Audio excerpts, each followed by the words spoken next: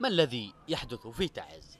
سؤال يستنكر به الناس واقع مدينتهم وهي تنزلق نحو هاوية الاحتراب الداخلي بين حامل الأسلحة المنفلتين أو أولئك الذين يطلقون على أنفسهم تسميات متعددة تحت يافطة المقاومة ذاك للاستنكار أما إن أردت الاستفهام فأنت تحتاج إلى عشرات الأسئلة بصيغ مختلفة ومتعددة وربما تدخل في متاهة الأجوبة التي تتعدد بتعدد الفصائل المسلحة وتعدد أهدافها ومخططاتها ومن يحركها وكيف بدأت وإلى أين يمكن أن تنتهي.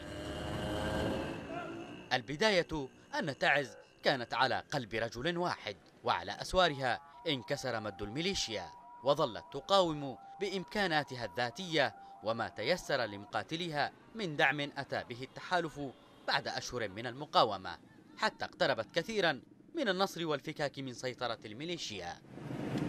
لكن ذلك لم يعجب أطرافا كثيرة ومنها أطراف في التحالف العربي. فعطلت المعركة في تعز وعطلت مكامن قوتها وأصبحت المناطق المحررة في المدينة مسرحا لتصفية داخلية بين فصائل المقاومة. بقاء الفصائل المسلحة بعيدة عن سيطرة الجيش ودعم التحالف لفصائل ضد أخرى. كان الطريق السهل لحرف تعز عن مسار المعركة الوطنية ضد الانقلاب وإدخالها نفق الاغتيالات والتصفية الداخلية.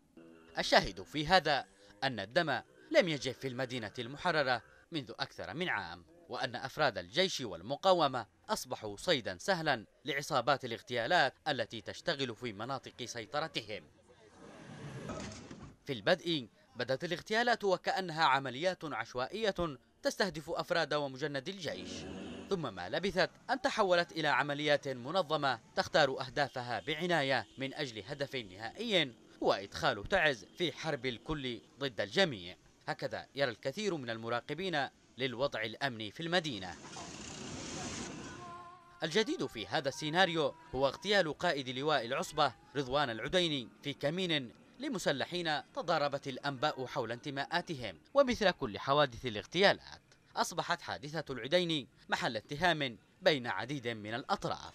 وأمام كل هذه الحوادث تبدو السلطة المحلية عاجزة تماما إلا من البيانات التي لن تحدث فرقا ولن توقف مخطط الاغتيالات ساري المفعول. الأحزاب السياسية هي الأخرى أدانت الحادثة واستنكرت وضع المدينة المخيف. ليبقى السؤال من بيده اليوم إنقاذ تعز وكيف السبيل إلى ذلك؟